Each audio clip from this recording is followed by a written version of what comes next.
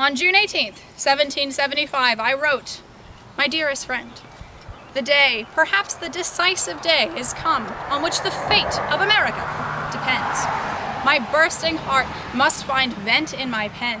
I have just heard that our dear friend, Dr. Warren, uh, is no more, but fell gloriously fighting for his country, saying better to die honorably in the field than ignominiously hung upon the gallows. Great is our loss. He has distinguished himself in every engagement by his courage and fortitude, by animating the soldiers and leading them on by his own example. A particular account of these dreadful, but I hope glorious days will be transmitted to you, no doubt, in the exactest manner. I next began to write that the city of Charlestown is laid in ashes.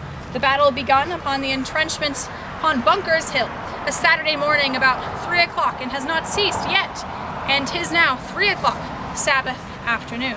Ladies and gentlemen, this battle went on for more than 24 hours. Uh, it was very long.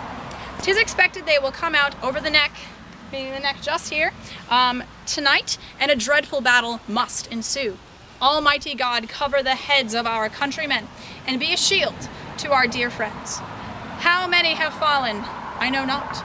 The constant roar of the cannon is so distressing that we can neither eat, drink, or sleep. May we be supported and sustained in the dreadful conflict. I cannot compose myself to write any farther at present. I will add more as I hear farther. Abigail.